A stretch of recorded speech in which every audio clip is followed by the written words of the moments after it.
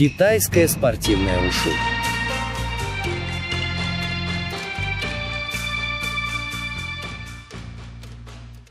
Боевые искусства – неотъемлемая часть национальной культуры Китая.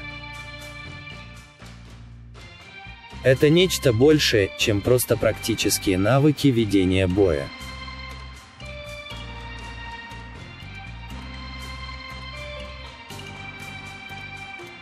Китайские единоборства являются уникальным культурным наследием, выполняющим множество функций. Это и искусство ведения боя, и физическое оздоровление, духовное и социальное воспитание, психофизический тренинг.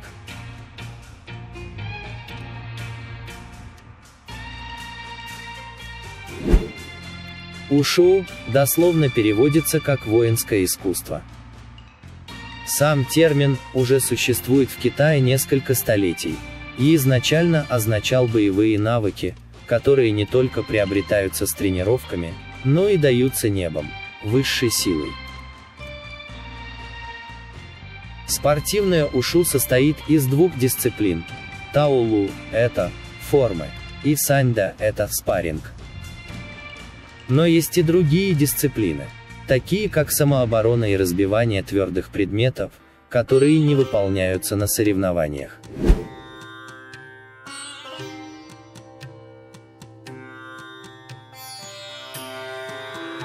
Формы включают в себя техники боевых искусств и акробатические движения.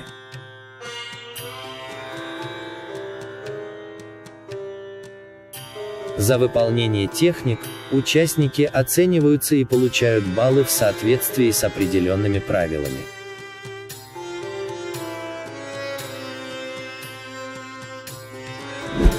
Формы включают в себя базовые движения, стойки, удары ногами, удары руками, удержание равновесия, прыжки и броски.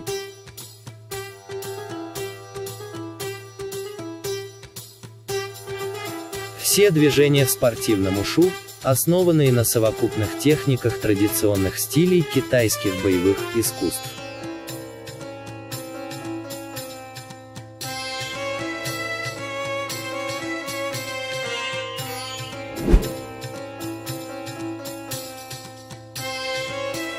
Чань Цуань – это самая распространенная форма ушу, которая включает в себя скорость, мощность, точность и гибкость.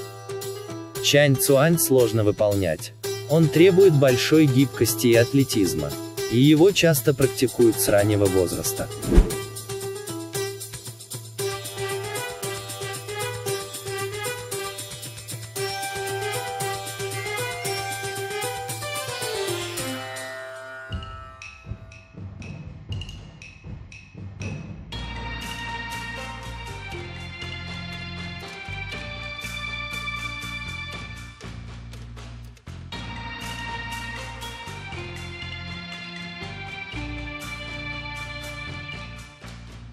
Что же касается современного полноконтактного вида спорта, иногда называемый сань-шоу, то он включает в себя бокс, кикбоксинг и борьбу.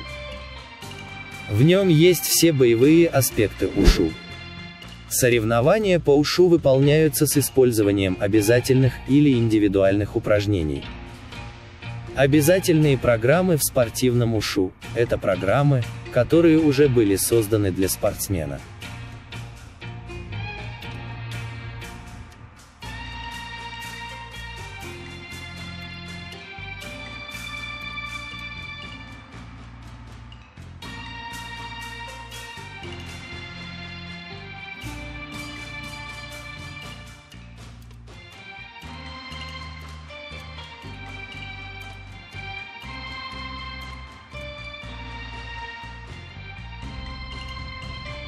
В отличие от спортивного ушу, в шаолиньском ушу, наивысшим мастерством считается овладение четырьмя искусствами – боевым, духовным, медициной, а также гражданскими дисциплинами – поэзией, историей, каллиграфией.